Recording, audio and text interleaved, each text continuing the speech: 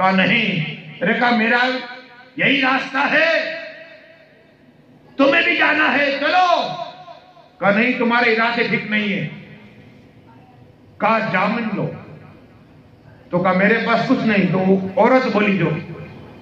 ہندو تھی کہا کہ غوث اعظم کو جامن رکھے۔ کہو سبحان اللہ۔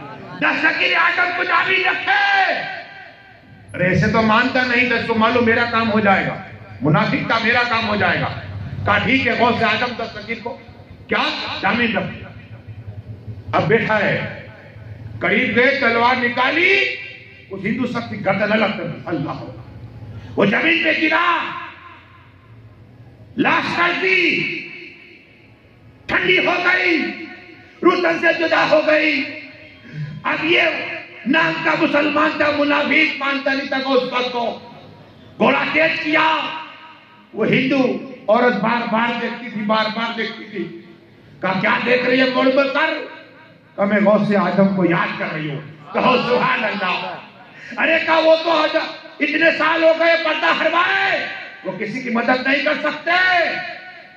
کہا، نہیں، میری کریں گے۔ کہو سبحان اللہ۔ میری کریں گے۔ میں نے غوث آدم کو جابین بنایا ہے۔ اور سنی عورت کا قیدہ دیکھیے۔ جیسے ہی قریب گوڑا بڑا دو شخص آئے پردہ پوس رک جا۔ رک جا۔ حیران ہو گئے۔ بے بان جنگل سے دو کو نکا پوس گھوڑے سے نیچا اترا۔ تلوار نکالی۔ منافق تھا۔ اس کی پیدل الگ کر دی۔ الگ کر دی۔ اور کہا، بہن تو نے مجھے پکارا۔ یہ کہہ کر اوجل ہو گئے۔ لیکن پھر رو کر اچھی سرکار، میرا سہر مردہ پڑا ہے۔ کہ چلو، قریب گئے۔ لاشا پڑا ہوا تھا۔ کیا ہے؟ جو تھا گھر الگ تھا، سر الگ تھا جب۔ اور کاکوں میں جی زندہ۔ اللہ کا زندہ ہو جا زندہ ہو گیا۔ کہو، سبحان اللہ۔ اتنا ہی نہیں۔ اور شاید نے گھوڑا تھا فرمایا۔ جو منافق تھا صرف نام کا مسلمان، گھوڑا دیکھا ہندو کے گھر پہ تھا۔ تو رنجیت سنگھ کو فریاد کی ان کے رشتے دار نے کہ ہمارا جو آدمی تھا، گیا تھا، گھوڑا اس کے گھر پہنچیے، کیا ہے؟ فریاد ہوئی۔ جیسے بادشاہ کے پاس ہے کہا، یہ گھوڑا کہاں سے ملا؟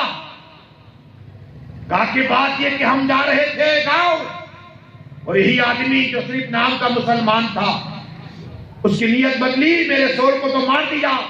میں نے پکارا یا گوس المدد۔ کہو سبحان اللہ۔ کیا کہا؟ یا گوس المدد کو شاہدوں نے مدد فرمائی۔ کہا ہم کیسے مان دے کوئی ثبوت؟ کہا یہاں ایک ولی ہے مست ولی ہے۔ کیا؟